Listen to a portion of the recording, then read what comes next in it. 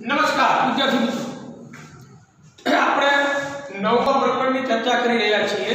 આનુવંશિકતા અને વિકાસ વિશે આપણે ચર્ચા કરી રહ્યા હતા.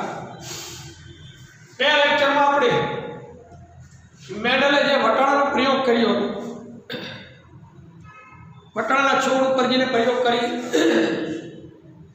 ઊંચા છોડ અને નીચા છોડના લક્ષણો હોય, એણે એફ વન પેઢી, પ્રથમ પેઢી, પછી એફ ટુ પેઢી, બીજી પેઢી તો પ્રભાવી લક્ષણ અને પ્રચ્છન્ન લક્ષણની આપણે ચર્ચા કરી છે. એફ વન પેઢીમાં પ્રદર્શિત થતા જે લક્ષણો છે એ પ્રભાવી લક્ષણ છે. એફ ટુ પેઢીમાં જે પચીસ ટકા જેટલા જે લક્ષણ જોવા મળ્યા એ પ્રચ્છન્ન લક્ષણો છે. આપણે વાત કરી હતી સંજ્ઞા સ્વરૂપમાં કે પ્રભાવી લક્ષણ સિંગલ હશે તો પણ પોતાનો પ્રભાવ રજૂ કરશે. જ્યારે પ્રચ્છન્ન લક્ષણ જોડમાં હશે તો પોતાનો પ્રભાવ બતાવી શકશે. પછી જાંબલી પુષ્પ અને સફેદ પુષ્પ આપણે એનો એક પ્રશ્ન સોલ્વ કર્યો હતો. એમાં આપણે જવાબ પણ મેળવી લીધો હતો. આકૃતિ આપણે નવ પોઈન્ટ ચાર આપેલી છે. પંચોતેર ટકા જાંબલી પુષ્પ અને પચીસ ટકા સફેદ પુષ્પ આપણને મળે છે એફ ટુ પેઢીમાં. જે ત્રણ જેમ એકનો ગુણોત્તર છે. હવે આગળ જોઈએ. જ્યારે વટાણાના બે છોડમાં મિત્રો, વટાણાનું વૈજ્ઞાનિક નામ એક છે શબ્દ.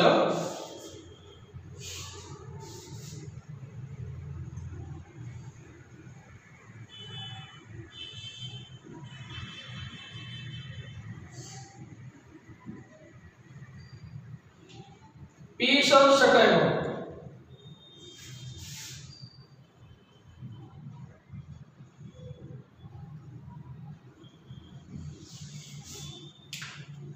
આ વૈજ્ઞાનિક નામ છે વટાણા.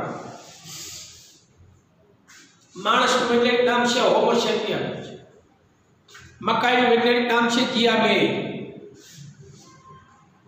ફળ વાક્યનું નામ છે ડ્રોસોફિલા મેલાનોગેસ્ટા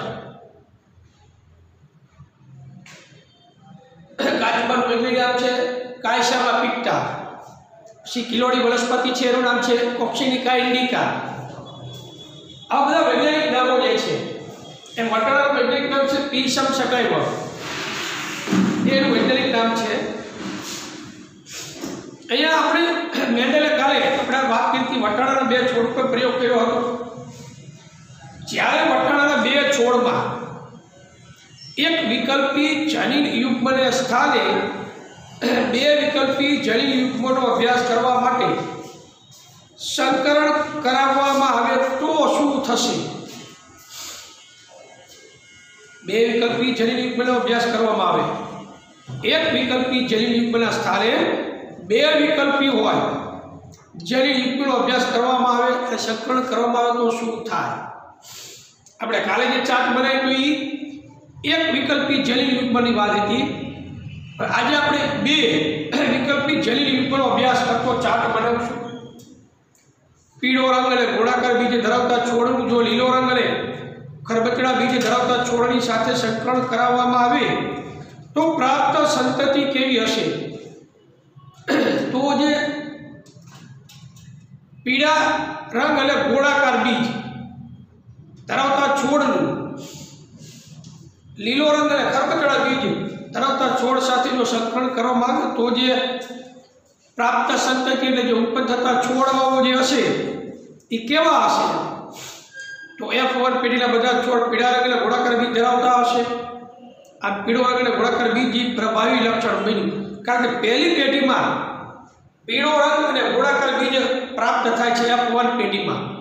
મતલબ એ પીળો રંગ અને ગોળાકાર બીજ એ પ્રભાવી લક્ષણ ગણાશે. પરંતુ જ્યારે એફ વન સંતતિના છોડ વચ્ચે સ્વફળથી એફ ટુ પેઢીની સંતતિ પ્રાપ્ત થાય તો શું થાય છે? મેડલ દ્વારા કરવામાં આવેલા પહેલા પ્રયોગના આધારે આપણે કહી શકીએ કે એફ ટુ સંતતિના કેટલાક છોડ પીળા રંગના ગોળાકાર બી ધરાવતા હોય અને કેટલાક છોડ લીલા રંગના ખતખડા બી ધરાવતા હોય. પરંતુ એફ ટુ પેઢીની સંતતિના કેટલાક છોડ નવું સંયોજન અભિવ્યક્ત કરે છે. તેમાંથી કેટલાક છોડ પીળા રંગના અને ખરબચડા બીજ ધરાવતા અને કેટલાક છોડ લીલા રંગના ગોળાકાર બીજ ધરાવતા હોય છે.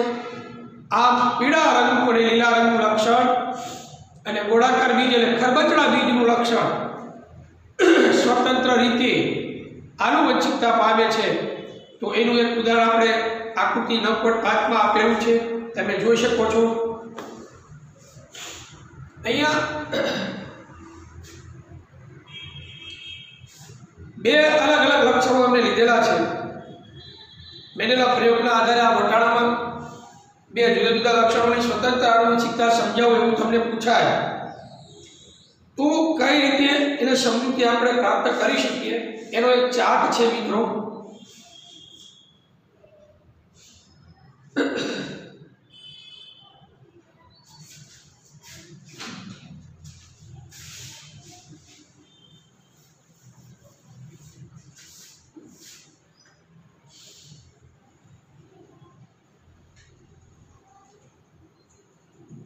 ઈ સમ શકાય એવા ઘટાડાનું વૈજ્ઞાનિક નામ છે આ આપણે પીળા અને ગોળ અને લીલા અને ખરબચડા બીજ લેવાના છે પીળા અને ગોળ લીલા અને ખરબચડા બરોબર આપણે કઈ રીતે આપ્યા છે આમાં પીળા રંગ અને ગોળાકાર બીજ પછી લીલો રંગ અને ખરબચડા બીજ ધરાવતા છોડની સાથે સંકલન કરીએ આપણે આકૃતિમાં તમે જોઈ શકો છો ગોળ અને લીલા આપ્યા છે એટલે ખરબચડા અને પીળા બરોબર ટેક્સ્ટમાં આકૃતિમાં અને થિયરીમાં બે વચ્ચે જુદાપણું છે આપણે જે થિયરી પ્રમાણે છે એ ચાર્ટ હું તમને બનાવી દઉં પીળા અને ગોળ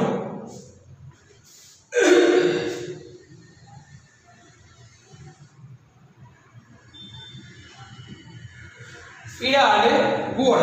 એક આ લક્ષણવાળા બીજ છે અને બીજા લીલા અને ખરબચડા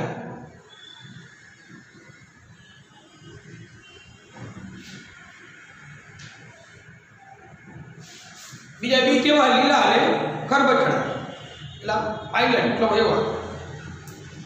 હવે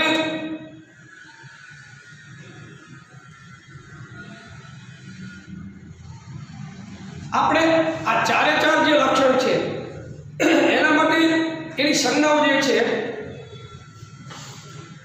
પ્રભાવી લક્ષણ માટેની સંજ્ઞા અને પ્રચ્છન્ન લક્ષણ માટેની સંજ્ઞા, એ આપણે લઈ લઈએ એટલે ખ્યાલ હોય તો પીળા રંગ માટે પ્રભાવી જરીને વાય લઈશું કેપિટલ વાય. પીળા રંગ માટે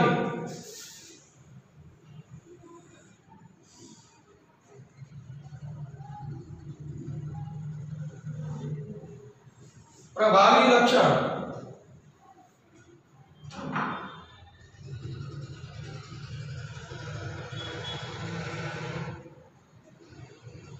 કેપિટલ વાય પીળા રંગ માટે પછી લીલા રંગ માટે પ્રચ્છન્ન જરી સ્મોલ વાય લઈએ લીલા રંગ માટે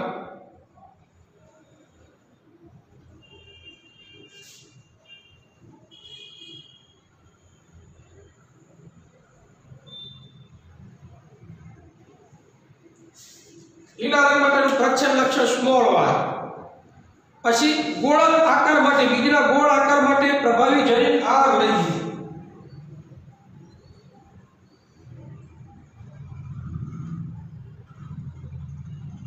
કેપિટલ આર ગોળ આકાર માટે કેપિટલ આર લઈએ અને ખરબચડા આકાર માટે પ્રચ્છન્ન જરીન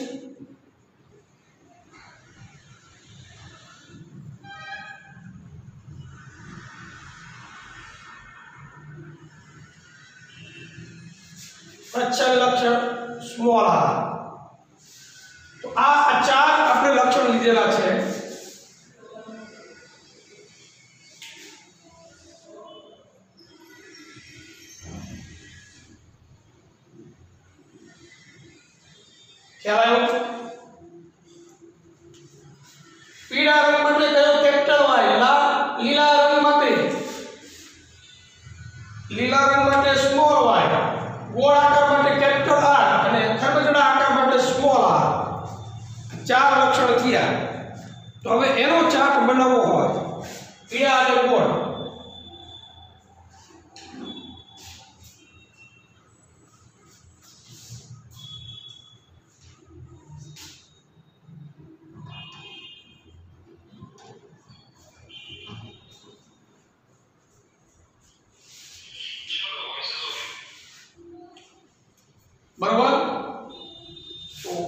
પીળા રંગ માટે કેપિટલ વાય છે અને ગોળ માટે capital R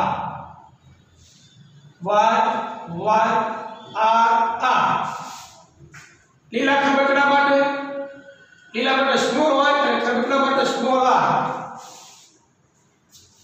Y Y, R R બરોબર? તો આજે આપણે લીધા છે એના જન્યુઓ કયા કયા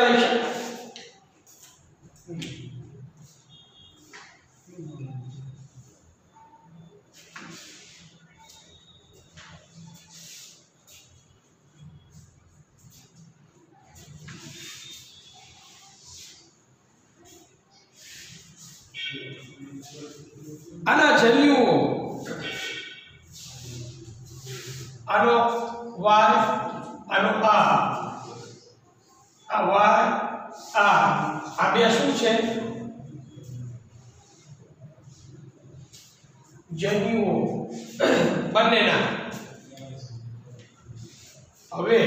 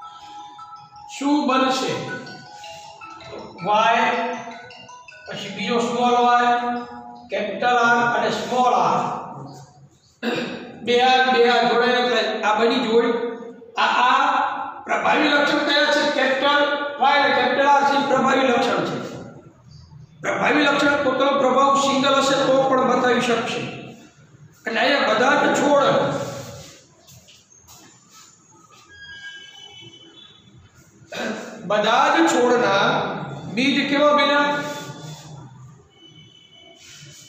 પીળા અને ગોળ આકાર ધરાવતા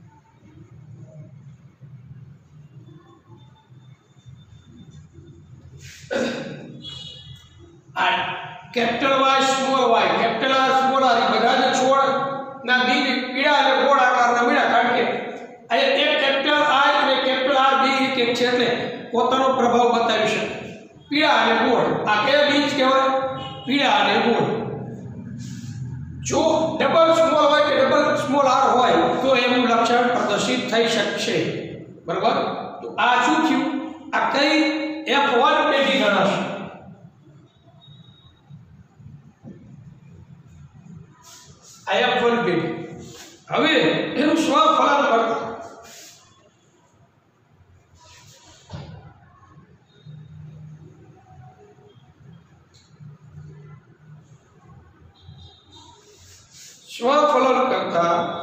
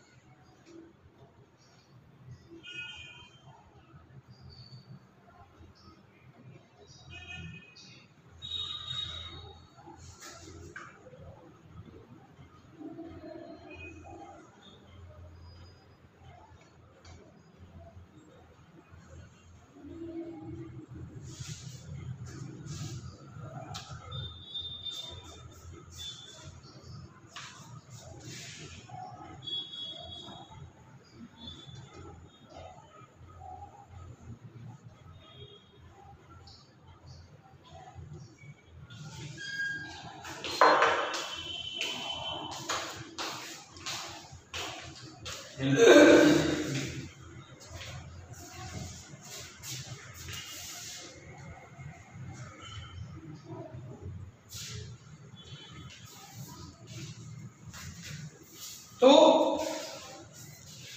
એફ વન એટીનું સ્વફલન કરતા એફ વન ના જન્યુઓ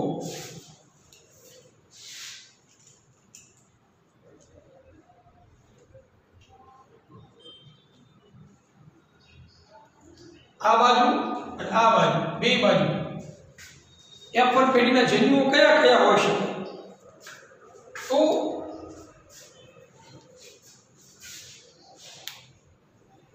એક કેપિટલ વાય આર એક કે કેપિટલ વાય આર આલે ચાર બબે બબેલી જોડ ચાર વખત પાડ્યા પછી સ્મોલ વાય અને કેપિટલ આર અને સ્મોલ વાય અને સ્મોલ આર આ જે ચાર છે એ આપણે એમની એમની સાથે ફલક કરીએ Y R Y R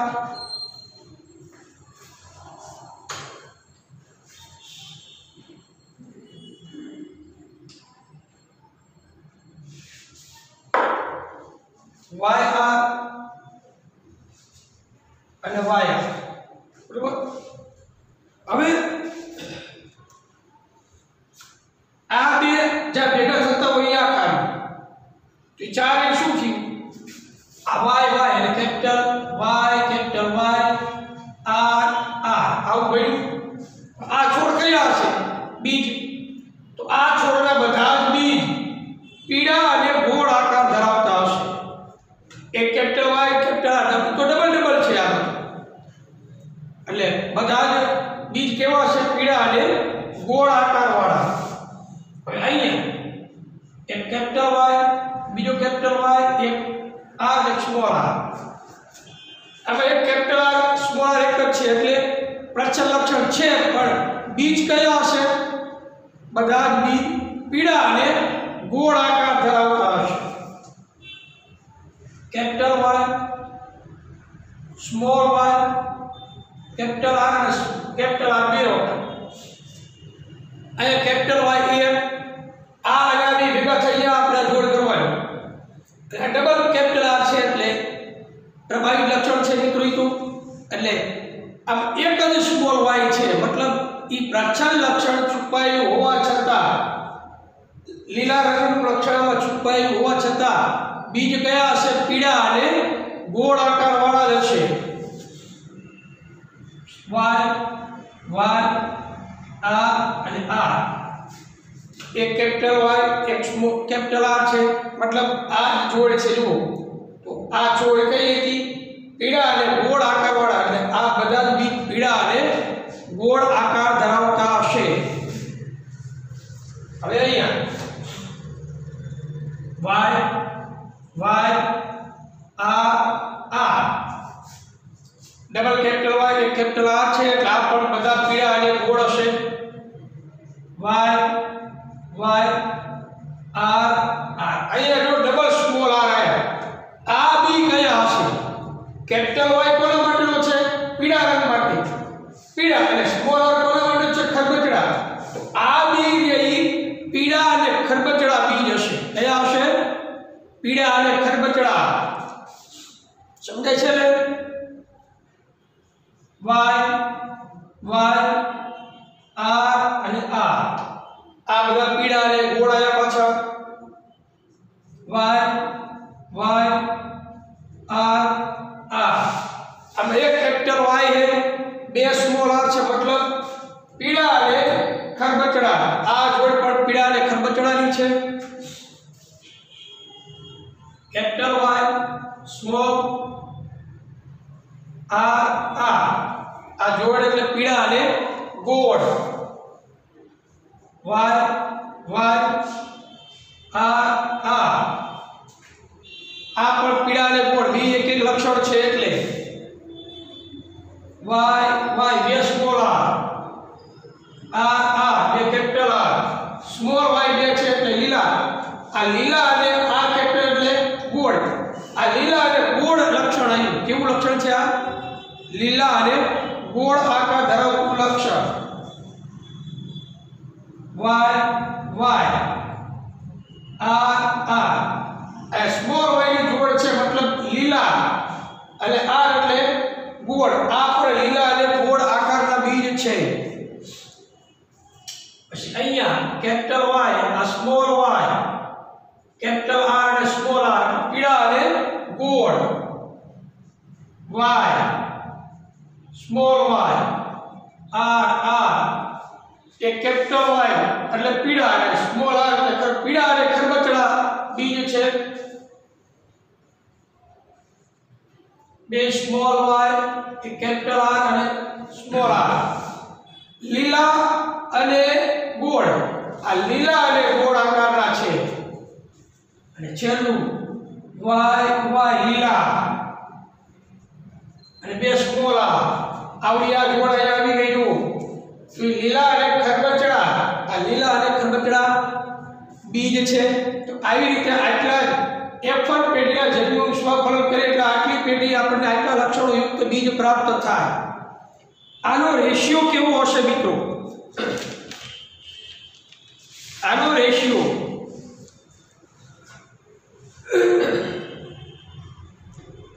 પીળા ગોળ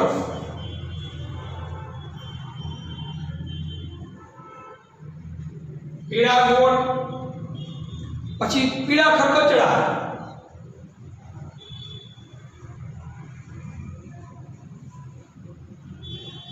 પીળા ખરબચડા પછી લીલા ગોળ.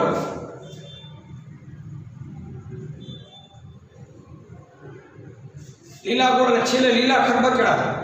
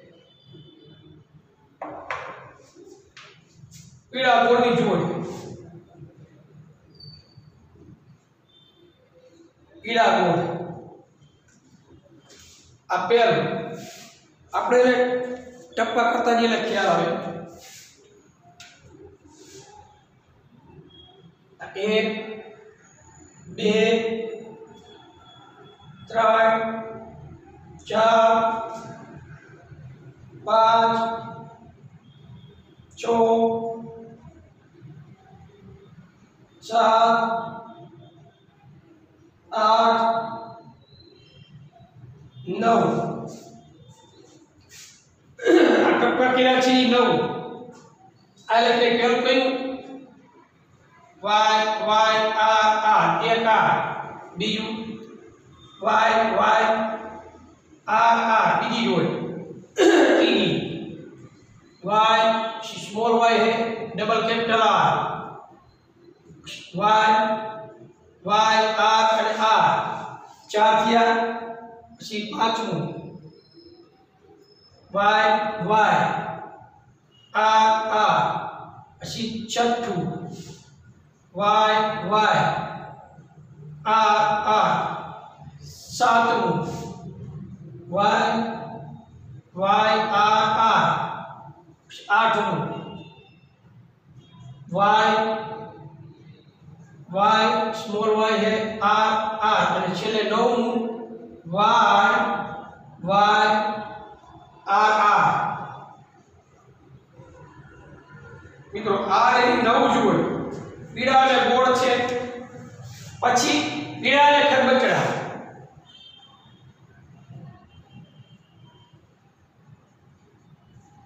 પીળા અને ખરબચડા જોઈ લઈએ પીળા માટે કેપિટલ વાય અને ખરબચડા માટે સ્મોલ આર વાળી જોઈ લેવાની એક બે બે સ્મોલ આર અને એક ત્રણ। બરોબર? એક આ double Y double small R તે એક કેપિટલ હોય, એક સ્મોલ વાય અને ડબલ સ્મોલ આર અને એક અહીંયા. Y Y double small R આ પીળા અને કરબટા જો હવે બેમાં. Double R small R double જોડ જોડમાં છે. પછી લીલા અને ગોળ.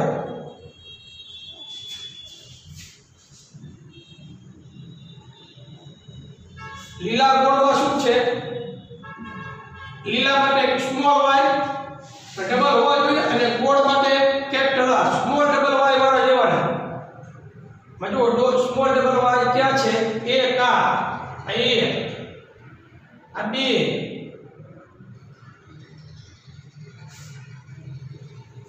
બરાબર? લીલા ગોળ. એક, આ, ત્રણ. એટલે ડબલ વાય સ્મોલ વાય બે કેપિટલ આર બીજું ડબલ વાય એક કેપિટલ આર અને સ્મોલ આર અને ત્રીજું double small Y capital R અને સ્મોલ આર આ લીલા અને કોડ આવી રીતે લીલા અને બચડા લીલા અને કરબચડા એક જ છે. સમજો આ બધામાં ટપકા થઈ ગયા. બાકી કયા રહ્યા? આ એક ડબલ સ્મોલ વાય અને ડબલ સ્મોલ આર હવે આ ગણી લો એટલે ખ્યાલ આવે તમને નવ દસ અગિયાર બાર તેર ચૌદ પંદર અને સોળ આ સોળ જોડીએ છે નવ જેમ ત્રણ જેમ રેશિયો બને જુઓ આ નવ ત્રણ ત્રણ એક, શું બને નવ જેમ, ત્રણ જેમ ત્રણ જેમ. આ એકનો રેશિયો થયો. ખ્યાલ આવ્યો? તો આવી રીતે મિત્રો, આ લક્ષણો આપણે ચાર્ટ બનાવી શકીએ છીએ આનો સ્ક્રીનશોટ પાડી લેજો, તમને ખ્યાલ આવશે. હવે,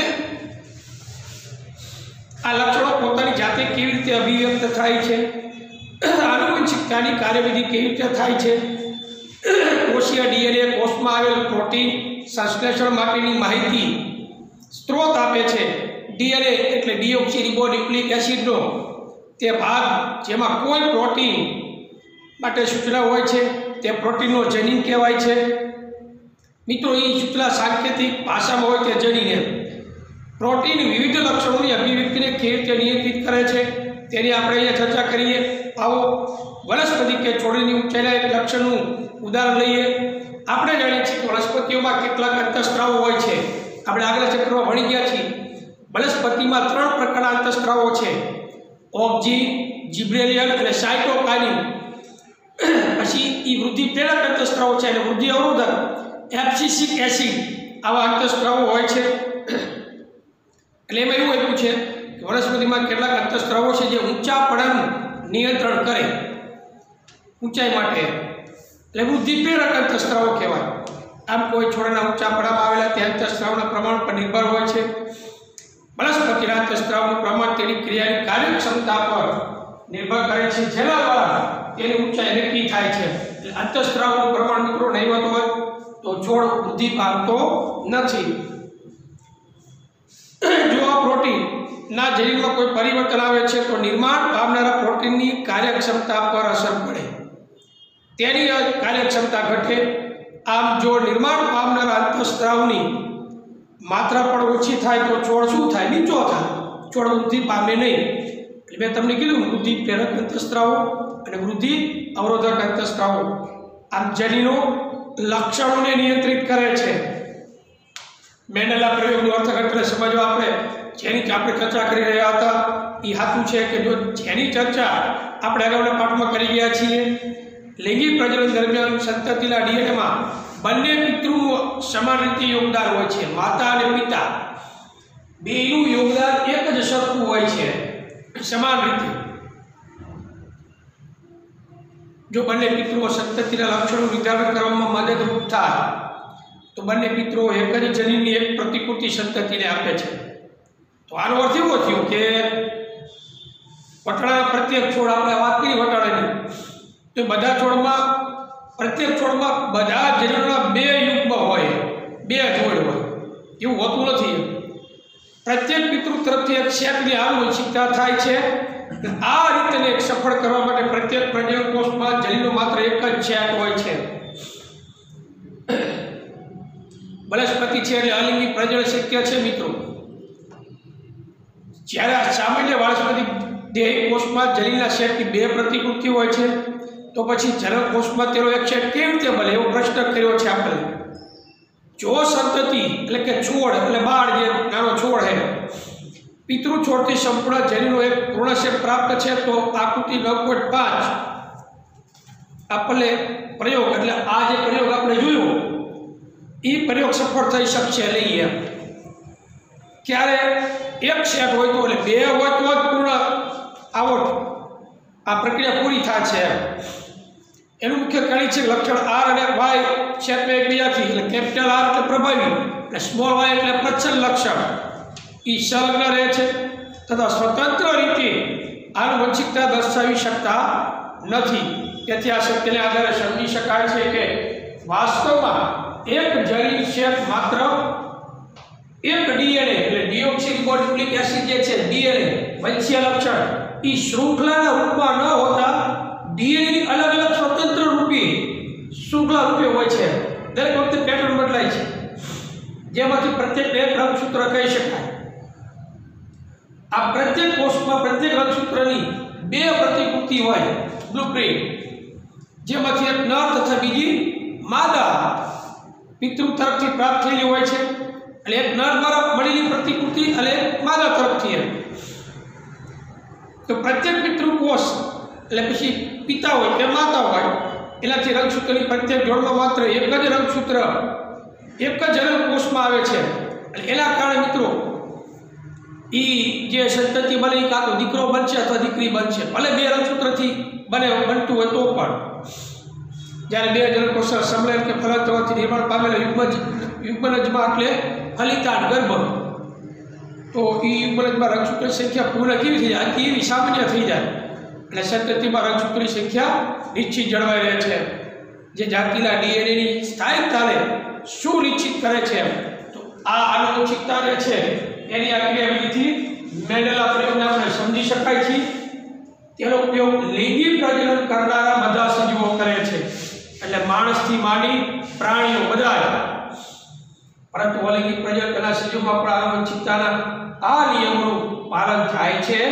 શું આપણે જાણી શકીએ કે તેમાં આનુવંશિકતા કેવી રીતે થાય છે? મિત્રો અલિંગિક પ્રજનનમાં શું છે? એક તો એમાં એક જ પિતૃ પેઢી હોય છે. બરોબર? લિંગીમાં બે પિતૃ પેઢી હોય, માદા અને નર. અલિંગીમાં એક જ પિતૃ પેઢી છે, એટલે એના કારણે શું થાય? એમાં સમાનતા, ભિન્નતા ઓછી હોય, સમાનતા વધુ જોવા મળે. જ્યારે લિંગી પ્રજનનમાં ભિન્નતા વધારે એટલે સમાનતા ઓછી જોવા મળે છે. તો આને આધારે આપણે લિંગ નિશ્ચય સમજી શકીએ. પહેલાં વનસ્પતિની વાત કરશું, પછી આપણે માણસમાં લિંગ નિશ્ચયની ચર્ચા કરશું. એ આપણે આવતા લેક્ચરમાં આ ચર્ચા કરશું. નમસ્કાર.